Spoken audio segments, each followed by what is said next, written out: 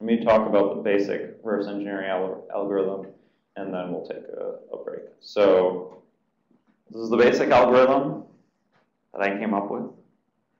Uh, this, this, is basically what I do, um, gather information. You have a file, G file, blob of data, whatever it is, um, and you want to figure out, okay, what, what do I, how do I analyze this?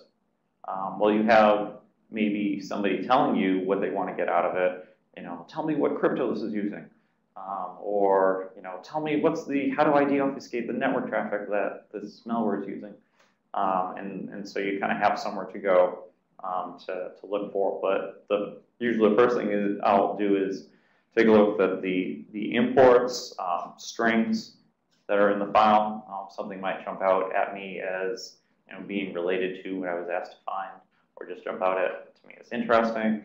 Um, and never discount dynamic analysis. Um, run the thing. Uh, if it's malware, do it in a secure sandbox.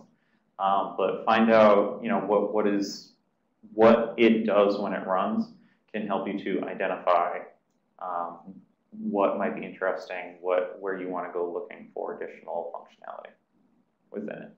Um, so once you've identified, you know, something of interest, and, and you find um, that within the malware, um, then what you'll do is, okay, I have a function, take a look at the calls that are being made.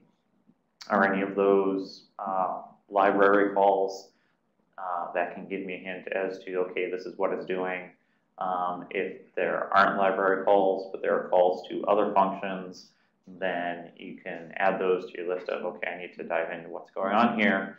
Um, but then you also have within that function, what are the algorithms being used? What are the data structures being used? And that can lead you to what, what is this function doing?